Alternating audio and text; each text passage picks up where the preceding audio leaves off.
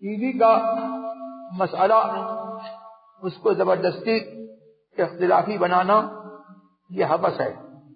تمام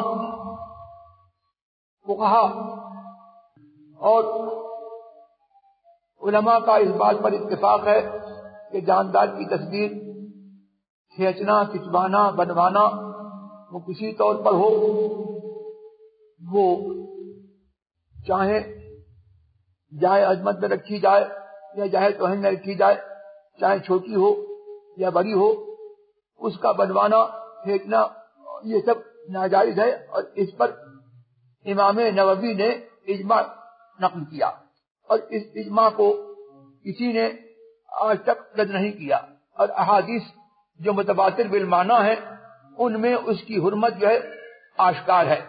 اس اجماعی مسئلے کو اختلافی بنانا یہ خود فساد عقیدہ ہے۔